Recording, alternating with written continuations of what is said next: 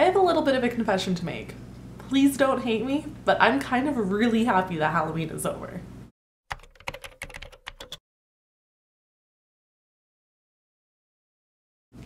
Hey guys, it is Chelsea and welcome back to YouVoluntear. Uh, this is the last video for Halloween week, which is something that I'm honestly kind of happy about because I'm really glad that Halloween is over.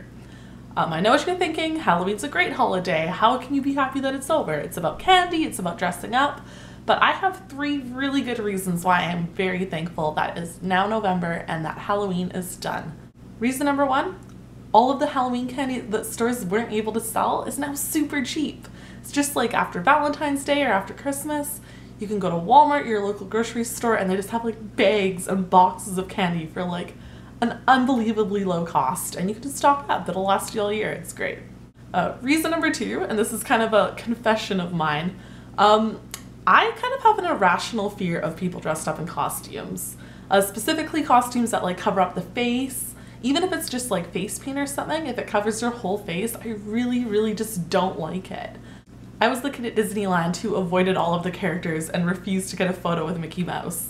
And if I'm at a sports game or something, I will avoid the mascots at all costs. I don't really know where it stemmed from. I just really don't like not being able to see people's faces and see who's under the costume. So that just makes Halloween a little bit difficult for me to like. Reason number three, it's closer to Christmas.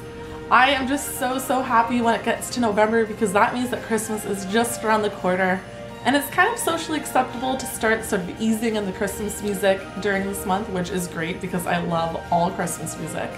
And you get to think about going home and seeing your family and friends and all the goodies and baking and chocolate. And I just absolutely love the holidays. And I am so, so happy that Halloween is over because it means that that is the next big holiday we have to look forward to. So guys, there you have it. That brings us to the end of Halloween week. I hope that you guys have enjoyed this past weekend, had great Halloweens, and are enjoying your discounted candy now. And tune in tomorrow because we have a new theme starting and I am so, so excited for it. I'll see you guys soon. Bye.